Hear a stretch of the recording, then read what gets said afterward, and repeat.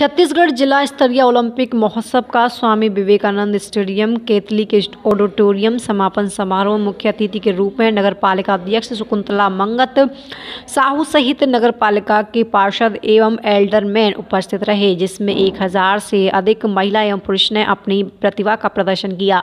इसमें प्रदेश सरकार द्वारा आयोजित छत्तीसगढ़ जिला स्तरीय महोत्सव में तीन वर्गों में महिला एवं पुरुषों ने भाग लिया, जिसमें ज़ीरो से अठारह अठारह से चालीस चालीस से अधिक आयु वर्ग के करीब एक हज़ार प्रतिभागी ने छत्तीसगढ़ विधाओं एवं पारंपरिक विधाओं में गिल्ली डंडा, फुगड़ी खो खो सकली जैसे खेल में अपनी प्रतिभा का प्रदर्शन किया। इस कार्यक्रम के समापन समारोह के मुख्य अतिथि शकुंतला मंगत साहू ने कहा कि प्रदेश सरकार भूपेश बघेल ने युवाओं को युवा महोत्सव के माध्यम से एक साथ लाने का प्रयास किया जा रहा है, जिससे कि उनकी प्रतिभाओं को और निखारा जा सके। ज़िले के युवा कल्याण विभाग सहित समस्त अधिकारियों को बेहतर कार्यक्रम करने की बधाई दी गई।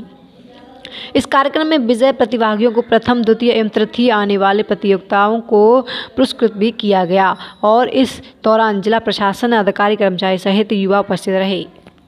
खेल में भाग लिए थे? खो खो में। कैसे लग रहा है जीत के? बहुत ही अच्छा लग रहा है। और इसका श्रेय किनको दोगे? और ऐसे खेल में आयोजन में भाग लेते रहोगे? और कहाँ खेले और इसके बाद कहाँ जाना चाहते हैं? यहाँ हम लोग बेमे बेमेतरा में आए थे उसके बाद संभाग जाएँगे। और हर वर्ष ऐसे ही होना चाहिए। इससे हम लोगों को बहुत ही अच्छा लगता है। हम लोगों को ऐसे खेलते रहना चाहिए इससे हमारी बॉडी भी फिट रहती है।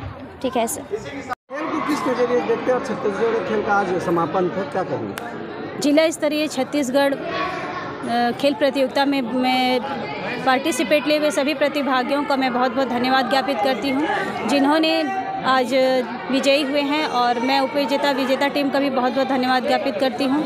हमारे मुख्यमंत्री माननीय श्री भूपेश बघेल का भी बहुत धन्यवाद, साधुवाद देती हूँ, जिन्होंने हमारे पारंपरिक पारंपरिक खेल खो खो कबड्डी फुगड़ी जैसे, जैसी खेलों को यथावत स्थान दिया है और मैं सभी का धन्यवाद ज्ञापित करती हूँ, सभी के भविष्य की कामना करती हूँ।